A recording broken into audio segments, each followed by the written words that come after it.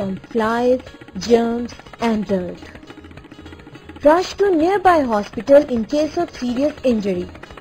Before approaching doctor, the profuse bleeding must be controlled by bandaging or putting pressure onto the wound. Another major problem is itching.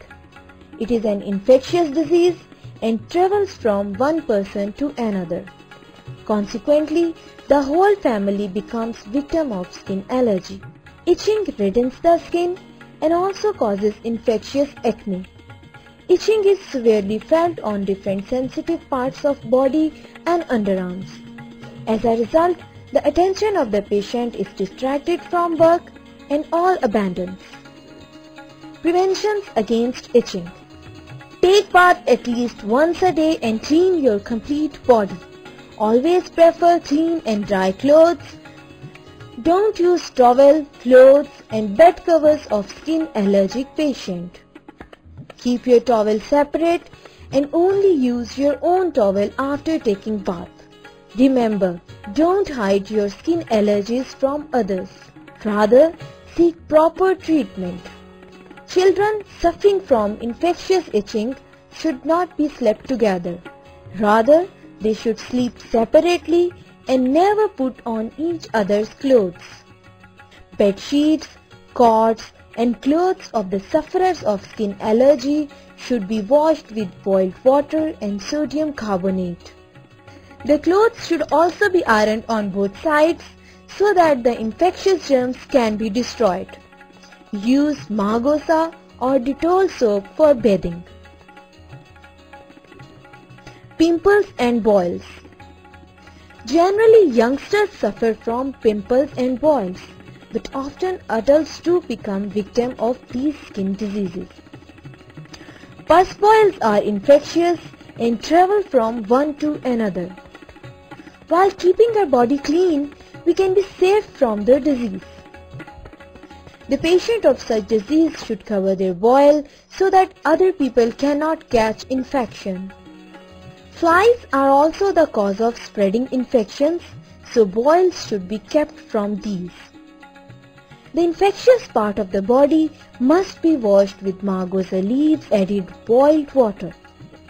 In order to cure the disease, the prescribed ointment must be applied on. Lice Lice transfer from one person to another. If hair do not be cared properly, these become occupancy of lice. Diseases of ears, nose and throat. During carpet weaving, dangerous chemicals, wool fiber and dirt become the cause of throat, nose and ear diseases. These diseases are flu, coryza, bronchitis, cough and lethargic fever. The dirty surroundings of workplace are the cause of running pus from the ears. If running prolongs, then there is a danger of getting deaf. Fever has been discussed many times. In order to measure the correct temperature, the physical touch is not enough. Rather always keep thermometer at home so that the correct measurement of fever should be obtained. We have already talked about the illnesses of ear, nose and throat. Please note more precautions regarding these. Don't insert finger, nail or bit of cotton. Rather, use ear drops according to doctor's advice. Mustard oil should not be poured into the ears. Quacks should not be consulted for anything. Don't eat hot and spicy things and sour fruits. These things cause infection of throat and fever. Isolalis and their applied drinks are very disastrous for our throat. Eye problems Different eye problems such as reddening, inflammation or tearing of eyes can take place while working with wool fiber and dirt.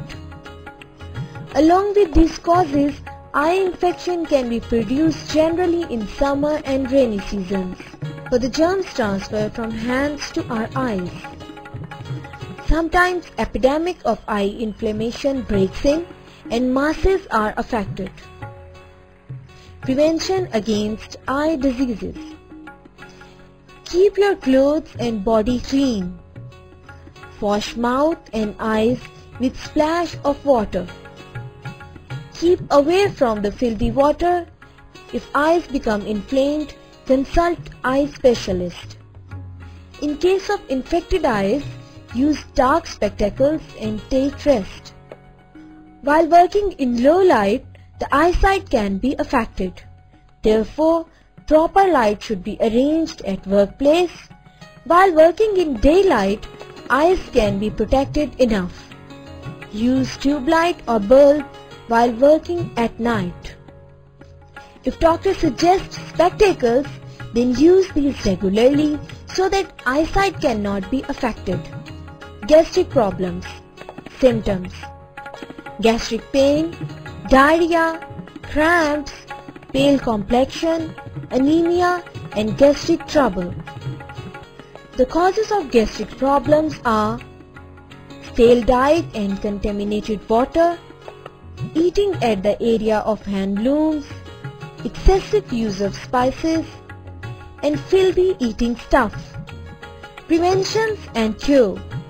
Avoid spices. Use fruit and vegetables after washing properly. Wash utensils properly. Wash your hands after using toilet. Sweep stool and vomit of youngsters properly. Clean toilet so that germs may not be generated.